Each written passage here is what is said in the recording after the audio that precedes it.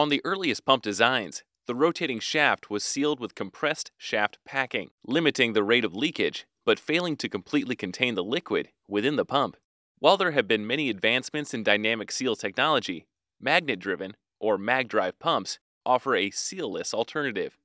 At the core of a mag drive pump is the magnetic coupling. Here, there are two assemblies that contain an equal number of magnets with alternating poles.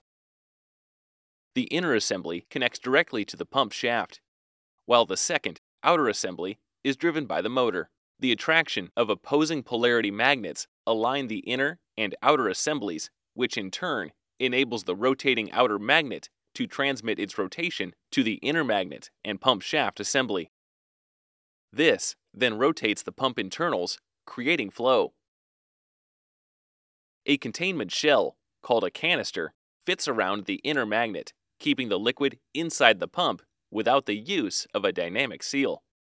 Sealless mag drive pumps offer the highest level of liquid containment and are favored in applications that are difficult to seal, pose environmental or health risks, or where the longest possible seal life is desired.